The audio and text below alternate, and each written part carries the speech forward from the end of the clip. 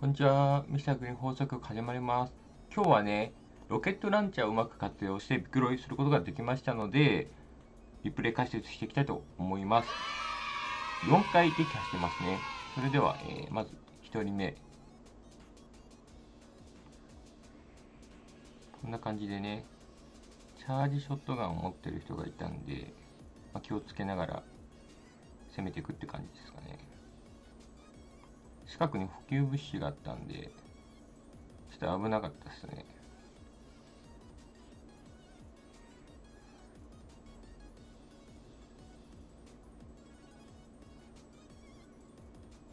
こんな感じで。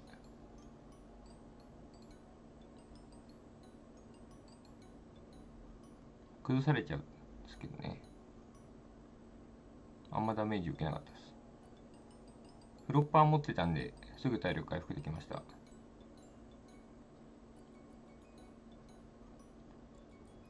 でここはサブマシンガンでご了承ですね。村ポン手に入れることができましたここで。でここでねついでに補給物資も開けて。でここでロケットランチャーゲットって感じでロケットランチャーをゲットできてきました。はいで、えー、飛ばしていきます。ここで、えー、ロケットランチャー使いますね。はい。あぶねっていう感じで、すぐ建築してよかったです、壁。ロケットランチャーってね、まあ、強いんですけど、壁1枚置けば防げるんですよね。とても簡単に防げる武器ではあります。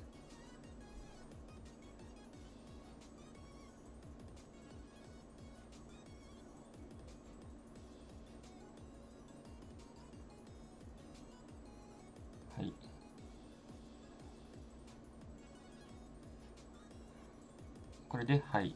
2人目撃破。で、この人もね、ロケットランチャー持ってたの。ロケットランチャー出すぎじゃねっていう。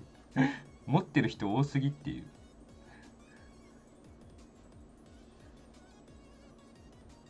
まあ、ここでね、壁と、まあ、その、階段出して、シールドを回復しました。で、こことちょっと飛ばしますかね。はい。上にいますね。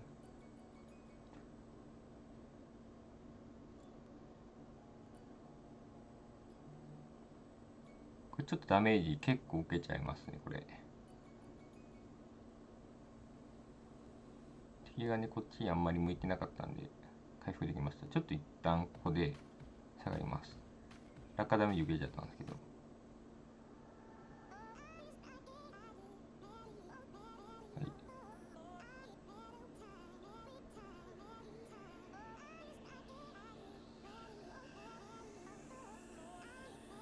ここで、まあ、ロケットランチャー弾回復してますね。結構時間かかるんで、ロケットランチャー弾回復するの。すぐね、回復する体勢取っとかないと。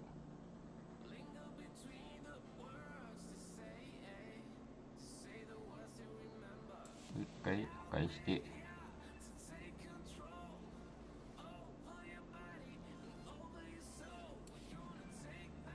ここも破壊ですね。どんどん使っていきます。弾結構あったんでね。ストームめっちゃ近くまで来てますね。で、相手が使った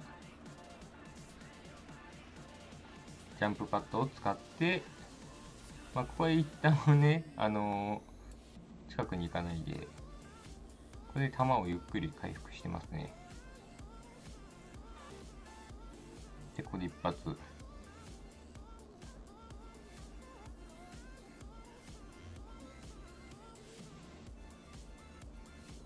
近くの方のね、建築物も破壊してます。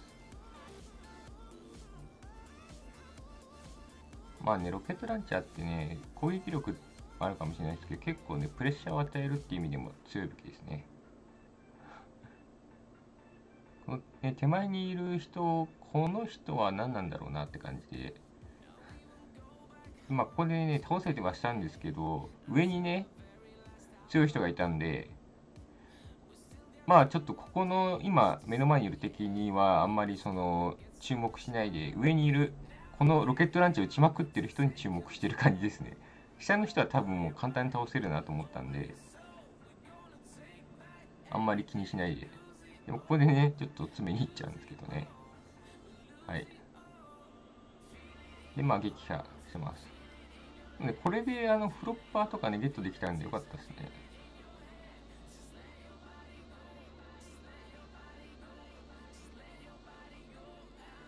めちゃくちゃロケットランチャー撃ってくるなって感じで。これで上に打ちますね。結構破壊できますよね。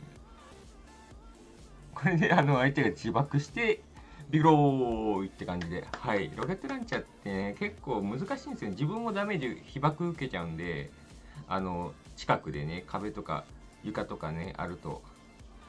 まあ、こんな感じでビクロイすることができましたイエイという感じで GG! 以上、このよろしければグッドボタン、チャンネル登録よろしくお願いします。ご視聴ありがとうございました。さよなら。